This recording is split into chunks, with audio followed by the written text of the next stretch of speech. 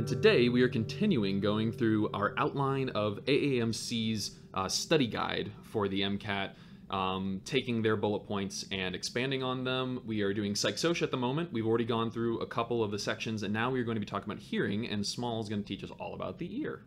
I don't have a joke to open this one. Okay. Um, this is our first take. Yes. Okay. so tell me about the ear and hearing and and what all we need to know. This is another one of those structures that people don't really learn like they should the first time that they learn it. Um, and I am also guilty of that. But it's really cool, and structure is a like major determinant of function in here. So it's really cool to look at how all of these things piece together. Mhm. So let's get started. Cool. There are three main sections, just like the eye. And the very outer ear, the pinna, I think is how you say it, or the auricle, is the very outer part that we see that girls can put earrings on. hmm And then your external ear canal, your external auditory canal, I think is what they really call it. Yeah. The EAC, like the East Australian Current.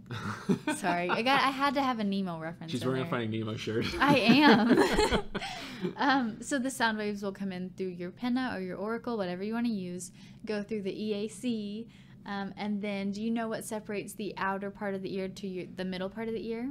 there are two different like separating membrane things. I think Mm-hmm. it's the tympanic membrane, which we call our eardrum. Right, exactly. Yes. That separates the outer from the middle, Mm-hmm. and it just it uh, sound waves will get concentrated through the auricle, go through the ear canal, like you said, and they will hit that, and then that will start to vibrate, Exactly. and then send it to the middle ear, Which holds the bones, the the ossicles. the ossicles, the um, and you don't want to miss these on the MCAT, MIS, which are oh Malleus incus stapes. very good. Oh my gosh, I didn't remember what they were until you said MIS. yeah, don't miss them on the MCAT. Everybody, please come up with come up with mnemonics for everything. It makes it so much better. They've actually done studies in psychology on the effectiveness of that helping people learn something. Yeah. And for at least, um, at least for you to get it into long-term memory, it's actually useful. Yeah. Eventually, it'll get crystallized in there, but you know. You wonder if they if they focus so much on like the memory part in the psychology, and we'll get into the memory soon, and it, it's going to be really fun and very helpful.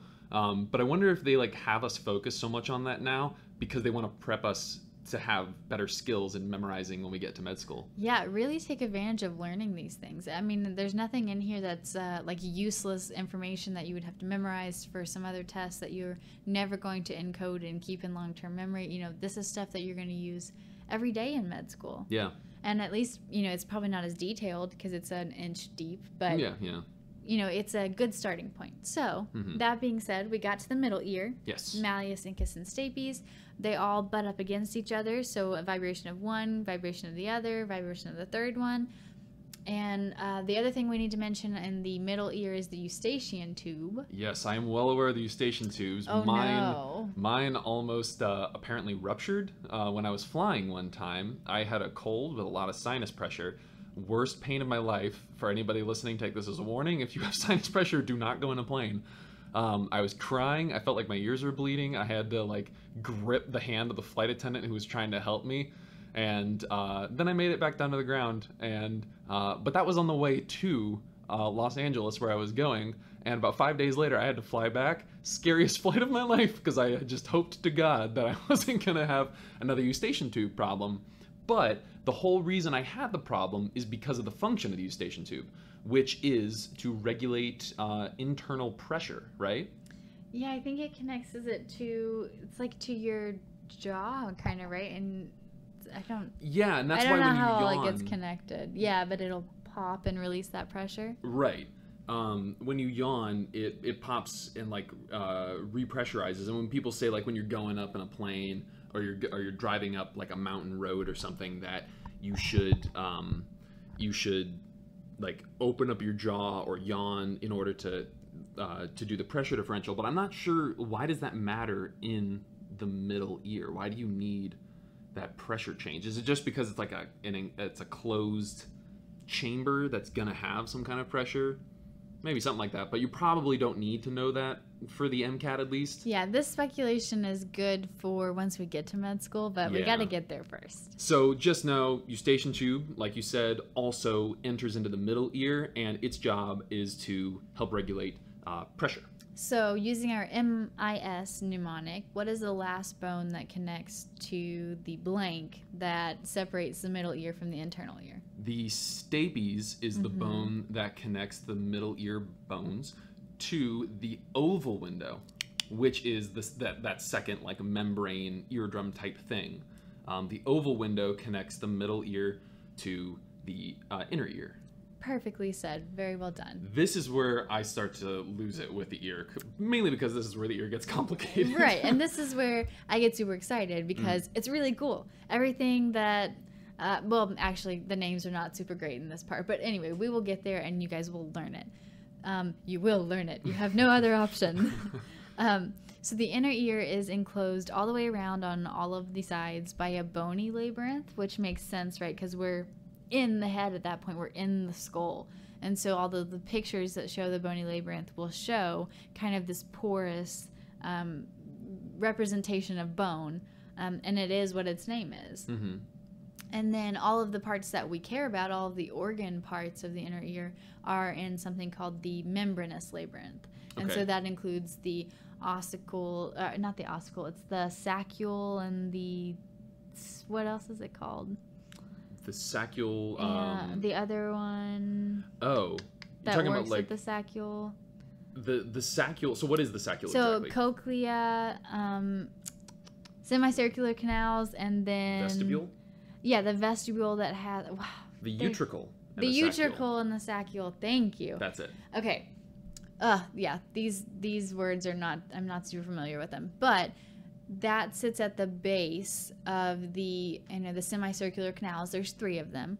And the utricle and the saccule uh, have those otoliths, so those crystalline structures that sit on top of cells. hmm And the utricle and the saccule tell you give you information about your acceleration. And so those are called the vestibule, vestibule, however you say it. Um, and I remember the vestibule and its function because I remember in a speedboat, if I'm on a boat on the lake, I need to wear a life vest. And As you accelerate. right, because I'm Ah. accelerating so much, if I fall out, it'll be dangerous. Okay. But anyway, and then my semicircular canals, there is quite literally three of them. And the three. Oh, axes. Right, exactly. Uh-huh. Your X, Y, and Z axes. So you have a yes motion. You've got one that tells you about a yes motion. You've got one that tells you about a no. And you've got um, one that does like a rotational kind of shoulder to shoulder deal. Which I learned actually that um, from a, a professor of ours who's from India. She said that in India they don't they don't go up and down for yes and side to side for no. They they do that like they they do the you know the shoulder rotation thing for yes and no, but it's oh no. Exactly. It's it, but like they said it's really like looking back on it it's really confusing because you have to it's just like based on context to tell whether someone is saying yes or no based on how they're moving their head. Um, but anyway, yeah, that's that's that's my story on semicircular canals. Well, I forgot two words that we're supposed to be teaching, so there's Mhm. that. But they're both part of the vestibule, which is the kind of major name for those two little pieces. And then we talked about the semicircular canals, Mhm. and then we get into the good stuff. So this is where our signal transduction pathway comes in. So it is the what organ? the organ of Corti, Oh, well, yes. And it is inside of what? cochlea, Which looks like a giant. Seashell. There you go. I was going to say snail, but seashell works Okay, yeah, too. snail. Yeah. Looks more like a snail actually. Um, and so, if you take a cross section of the cochlea, you will see the organ of Corti suspended in endolymph. Mm-hmm. And what's around the endolymph? Perilymph, Perilymph, right? Would that make sense? Peri means around Mhm. something. Um, like pericardium, is around the heart. exactly. Yep. Um, and so, inside the organ of Corti, there's a tectorial membrane, which is the very top part of that triangle. And then there's some hair-looking cells, and then um, there's some other things that we don't really talk about. Um, and then there's a uh, basilar membrane. Um, and so we kind of want to think that maybe like the top part moves. Just that's a lot of uh, a common misconception. But really, the top part of the membrane stays rigid. hmm and the basilar membrane jiggles up and down. And when it does so, it pushes the hair cells up against the tectorial membrane and it smushes the hair cells' stereocilia, Mhm. which will open mechanically gated, um, non-specific cation channels and start that signal transduction pathway. And what and and to, to just visualize this for people Yeah. because I have a hard time doing it. Oh yeah, I mean it's not something we talk about normally. Right. So this thing is like it, it's uh, the the cochlea is like a snail shell. Right. And imagine it's like a tube, like a you have a, a circular tube, or say let's say going through or triangular kind of is what it's actually like Mm-hmm. going through, and it's like you know spinning around and spiraling in the snail shell thing. Yeah. So, in that tube, if we were just looking at a cross section of the beginning, the bottom part of that thing, that is the well. First off, so it, um, it's on the outside surrounded by perilymph. Mm-hmm. Then there's the endolymph. Yeah. Which And is then- on the inside of the organ of Corti. Have you ever seen a Toblerone?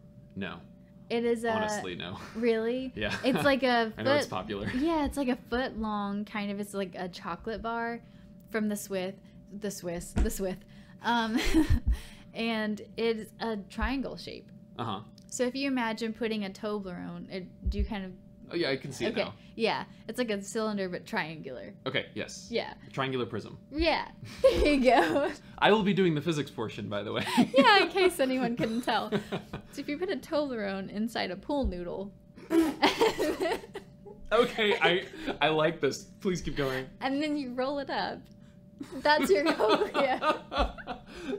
I'm never going to forget this. Yeah. Okay, so And then if you take a cross section, right of a Toblerone and a pool noodle. yeah, So the pool noodle is the perilymph. yeah, surrounding the organ. Would would the would the endolymph be like maybe the little areas? It's inside the triangle. Oh, the perilymph's inside the triangle. The endolymph. It's The in endolymph. Sorry. Yes. Endolymph is inside the organ of Corti. Okay. Oh, I get it. I get it. I get it. So Yeah. the endolymph is in the middle of the the basilar membrane and it's and, the between. tech. Yep, yep. Ah, okay. Pool noodle is the per, uh, perilymph. Yeah, it's just the total cochlea. The the Toblerone is kind of like the actual functional organ. Yeah, and then in the middle, the, the good old good good chocolate part is the uh, the endolymph. yep. And maybe like the bottom of the triangle Toblerone packaging is the basilar membrane, Exactly. which actually like jiggles to push the hair cells. Yep, and this is where we're going to get into our. oh, I don't know, maybe it's not our first time, but our first example of an, an appropriate way to remember something. How do you remember it? Um, so, because it is such a hard thing for people to grasp, the tectorial membrane is the thing that actually stays still, and the basilar membrane is the one that moves. I remember that big booties jiggling that goes along with basilar membrane because all of them have B's. Um, and so that bottom membrane, you know, bottoms. Mhm. Um, Drop the bass and shake that booty. there you go. Oh goodness, so so cringeworthy. But if it's inappropriate, sometimes you remember it better. Yeah. Well, I remember poop, uh, poop, noodle, poodle, poodle, Pool, pool noodle. a pool noodle. It, poodle is is. I'm just being more efficient with my words. Right. A pool noodle with a Toblerone inside of it is phenomenal. Um, okay, so that basilar that basilar membrane, it it moves, and then the actual hair cells are they in the chocolate of the cochlea? Yeah, they're the ones Okay. that are doing the signal transduction. so they're bathed in endolymph. yep. I think I've seen that term Mhm. before. Yep. and um, so it's like they're, they're in there and then the, the sound waves come in the basilar membrane starts like you know moving and like oscillating Yep. and the hair cells get pushed against Yeah, they have little stereocilia hats. The really Mm-hmm. tall hats, like the like the ones that the the army from Britain, right? The really tall hat. i would have said like chef hat but i guess the army from britain Well, that's fine. Whatever. You know the one that guards the queen's palace. oh that's right and they look dudes. really sharp with the big fluffy hats. What not Yes. fluffy, but you know what I mean. Yeah. Anyway, um, they have stereocilia. These hair cells do, Uh-huh. And when they get smashed against the tectorial membrane, they open a mechanically gated channel, yes and that is the thing that allows the the sound wave to be transduced into an electrical signal down the uh, vestibulocochlear auditory nerve. awesome Is, the, is it the eighth one or the second one or something? ooh like for that? cranial nerves Yeah, I I'm don't not think sure. we need to know it, but you know. yeah So let's walk through this pathway one more time. okay Um, and do you want to walk me through it? Um, yes, actually. Okay. I, I will take it up. You've got notes right there, but I'm going to stare right at you and try to say the whole Oh, thing. okay, yeah. That's really if you guys can teach yourself this stuff, then you know it. But if you have to look at your notes, then you don't know it yet. And I would recommend everybody get with someone like this and study in this way. Even make your own podcast about it. Make your own YouTube channel. Do whatever you want because not only does it force you to be more um, like to understand it better because like you're it's almost like you're preparing it for a presentation. So you got to learn it really well to teach it really well. Yep. All right. So first we get a sound wave happens. Yep. The some kind of sound stimulus, and it goes through your auricle w or or the pinna pinna, which is the outside of the ear. Mm-hmm. Um, that collects the sound into your uh, EAC, your East Australian Current, your uh, your whatever that is, External auditory Ah, canal. external auditory canal, where you you stick in Q-tips to get the earwax out. Um, that then goes and funnels the sound to the tympanic membrane, which is our eardrum, and the tympanic membrane then vibrates and then miss. It vibrates the malleus first. The malleus vibrates the incus. The incus vibrates the stapes. And none of that's going to matter if your eustachian tube, which is also in the middle ear, is screaming at you in pain because you went up however many thousand feet and you have a sinus problem. Someone is a little emotional. it was it was a heartbreaking experience. Um, nah, it was a eustachian tube breaking experience. But but we all got jokes. they can't. You guys can't see my eye rolling. so when that malleus gets uh, finally receives the vibrations of the sound waves, it's going to vibrate the oval window. Then the oval window, before it goes to uh, to transduce its thing, I'm going to mention what else is going on in the inner ear. Um, you have the utricle and the saccule, which their job is they have those those otoliths, the bony um, the bony gel uh, mixture of stuff that tells us are we going are we accelerating are yeah, we they're actually crystals, right? I think so yeah Isn't that really cool? I'm not exactly sure what they're made of, but um, Yeah. but they're the the otoliths that are in that gel matrix that help us to um, that help us to understand acceleration, uh, feel acceleration. So really quickly, I want to mention that your your nerve, the vestibulocochlear nerve, splits that inner ear into two parts. The Oh. vestibular senses, so balance where you are in space, all Mhm. of that stuff comes from the uh, the top part, kind of, of the ear. It looks like it's a little bit um, on top of the cochlea, Mhm. and then the actual hearing comes from the cochlea. Oh, okay, vestibulocochlear. Right. So if you Ah. can't remember anything else, remember that your cochlea does the hearing and sends a signal, and the vestibular part. If Mhm. even if you don't remember what all of the specifics of the little parts or what the utricle and saccule are, um, wink, wink. Um, then just know that those two parts have their own specific function and what they tell you, and then go from there. Okay.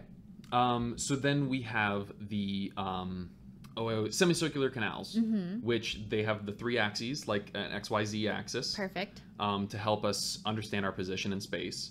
Um, so those two things all get sent into the vestibulo section of that vestibulocochlear nerve. Mm-hmm. Um, so back to our sound wave, the oval window vibrates, and that is going to send a vibration into the cochlea, which has um, it's a Toblerone and a pool noodle. Yeah. I'm gonna remember that on the MCAT. Um, so the uh, and it's all curled up like a snail's shell. Mm-hmm. So um, the outer part of it, the the pool noodle part, is endolymph, which is just kind of surrounding it. Um, then the uh, the Toblerone, like the casing of the Toblerone, you'd almost say, uh, the bottom part is called the basilar membrane. Yep. The top part is called the um, the tec- tectorial Yep. membrane. Yep. Okay. Um, and the inside is uh, is endolymph that is bathing our hair cells, which are the things doing the, tr- the the electrical work. Those are the things that let us, you know, send a signal to our brain to perceive sound. Um, sound comes in, it's going to vibrate that basilar membrane, drop the bass, shake that booty Right. and um, it's going to like you know push them up against the tectorial membrane which does not move Right. and that is going to then open up the mechanically gated ion channels uh, cause some kind of depolarization to happen and then send on down through the cochlear part of the vestibulocochlear nerve which then goes into the um, ooh the thalamus but does it route through something else as well It does. Okay. And so it goes through the brainstem and then it goes through the medial geniculate nucleus. And I think on the the I one I said ventral for some reason. Mm. Um, but the way you can remember that for visual and uh, the audition part, so the the hearing part would be that the light part, so the thing that lets you see light, so our vision, Mhm. goes through the lateral geniculate nucleus in the thalamus, and the music part, the thing that lets us hear music, goes through the medial, music medial, light lateral. Light lateral, music medial. I don't think they would get that specific, but in case they did, you would know it. sure. Um, but as far as the uh, auditory part goes, um, after the cochlea, right, um, and, and going into the vestibular cochlear nerve, we go through the brainstem, then the medial geniculate nucleus in the thalamus, and then to our To our auditory processing center, which is in our um, in our temporal lobe. right, which is right by our ear. So that Right. makes perfect sense. All right, and I guess that would be that would be an inch deep, kinda. Is there anything else in hearing that we that we need to know as far as psych soc goes? The reason it's on here is because it's like us perceiving. Uh, it's one of our senses, one of our five senses, and those are typically most of the psych soc stuff is um, like neurological in its in its basis. So they're probably going to be saving a lot of this for the the psych soc part. Yeah, I think we covered everything, but I think it's important for people to realize that the ear and the eye are more complicated than we've learned in the past, Mm. and that even the two videos that are what almost 30 minutes for both of them Mhm. um, that we are doing are nowhere near the the depth that we're probably going to learn it in med school or if you Mhm. specialize in one of these areas. And so just know that the give give this one a good couple of times over because it's probably going to be on there. It's very high yield. And because it's so easily applicable, especially eyes and ears, just by the nature of them, they could easily be physics questions, Oh, an yeah. entire passage. Um, it could easily be a bio biochem question if they say like you know uh, this part of the optic tract was cut off. What happens? Um, or if they say um, or, or anything in uh, lens shape, anything like that. yeah. We, we even heard about Weber's law and hearing yeah that'd be psych soc. and pitches and all that. So, um, and so look at this AAMC outline that they give us and be like, these are not necessarily relegated to their their own section on the MCAT. Yeah. They could be tested in all the different sections. So go through as much of this as you can. I wish we had found this earlier. Yeah, but we got it now, Yeah. and uh, I think this is going very well. And I'm, like you said, recommend everyone get into it. Strong work, gang.